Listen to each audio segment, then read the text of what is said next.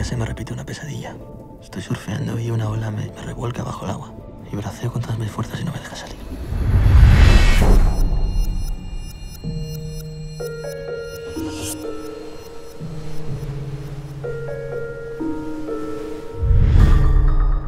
Son de un carrete antiguo que encontré en las obras del piso de abajo. Debe de ser de la gente que vivía aquí antes. He escaneado las fotos que tenías y mira, este no es tu amigo ese que desapareció. Joder, es verdad, es Iván. ¿Cómo se apellidaba? Pedroso Campano. I de Iván, E de Droso y C de Campano. El corazón que hay en esa nevera se lo arrancaron a tu amigo Iván. ¿Te acuerdas de las fotos que revelamos ayer?